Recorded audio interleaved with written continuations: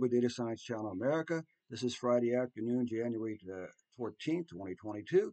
And before we get started, America, I have a favor to ask you folks today, and that is if you watched the video on YouTube today, click the like button next to the video, okay?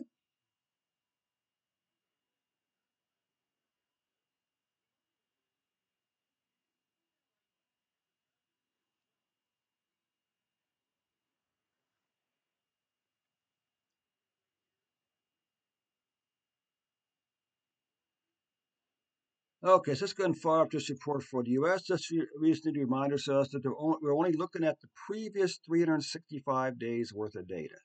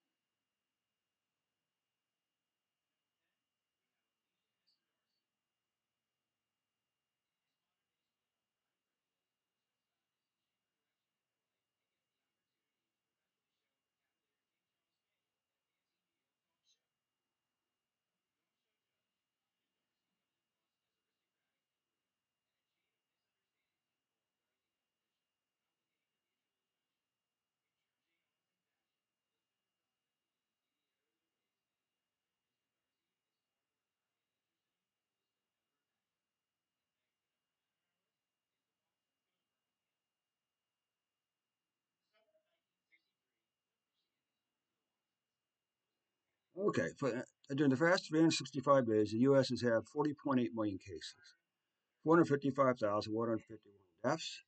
And we can see that, you know, the, the, the, cases are not starting off good for the U.S. Uh, uh, we're, we're, very close to 10 million cases, and we're only two weeks in, okay? If we could look at the quarter, you can see also that, you know, we're not even in the first quarter, and almost certainly the the fourth quarter of almost without a doubt the fourth the cases for the fourth the fourth quarter of 2020 the first quarter of 2022 is going to wind up being the, uh, most cases during the previous uh, uh, four quarter of, of, of, the previous 12 months unfortunately well past October 20 the third quarter the fourth quarter last year numbers. Now you can see again here two weeks in, uh, the cases are basically going to the roof. Now, is this Omicron? I don't know. I'm sure the administration is going to blame it on people not being vaccinated and what, what mass. Yeah, whatever, whatever. Go go ahead, Mike. Go blame it on blame it on everybody else for your incompetence in preventing this disease from spreading. Okay. But anyway, last last uh, last month. December was not good, and January is even so. This because we're already just already January 2020 was, was already the most number of cases for a single month in the previous 12 months. Okay.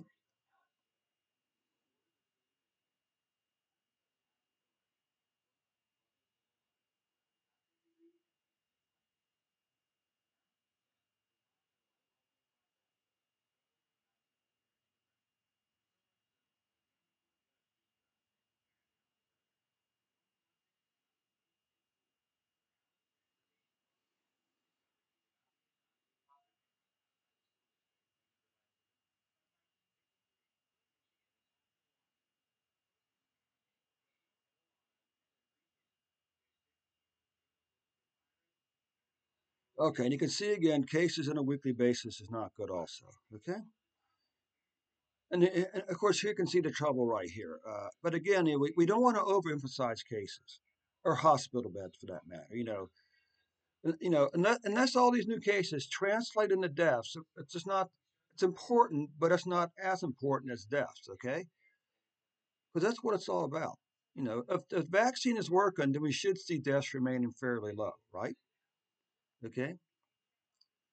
So anyway, you can see uh, as on January 13th, we are averaging 706,338 cases per day. Okay. Now what about deaths? So here, here's where it's a little news is a little better. Deaths are a lot lower starting out the year than, than, uh, than cases were. And again, this is the quarter, so so so at this point, it's really too hard to tell. But the good news is it's still in last place of, of the previous uh, five quarters. January, January 2022, unlike cases, is still starting off pretty low. Okay.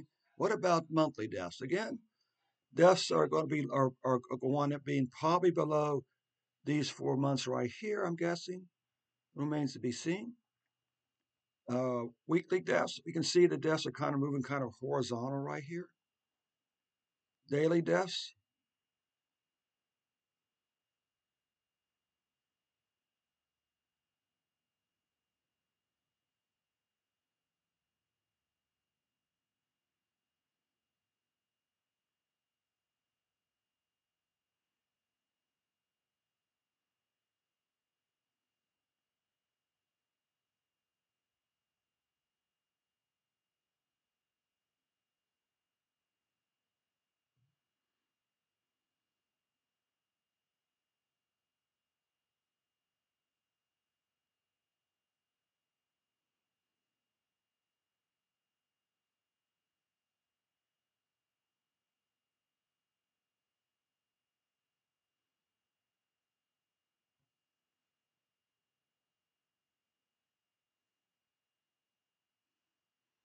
So you can see here that on January 13th, the uh, U.S. had 1,875 deaths, with an average of 1,660.5 deaths.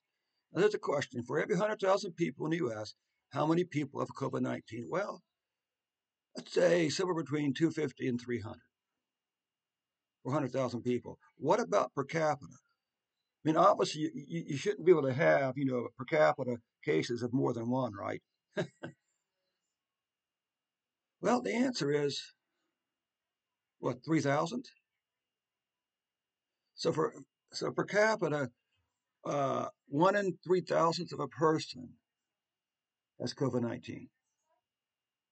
What about deaths? Well, for 100,000 people right now, on average, about one half of a person uh, is dying from COVID 19.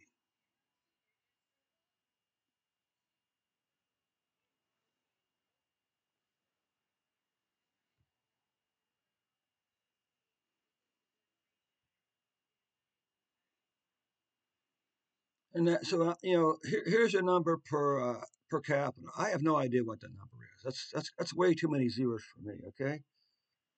Anyway, that does conclude the reports for uh, U.S. for today. So we're going to wrap this first section up. Then we're going to go and uh, begin uploading the videos to YouTube.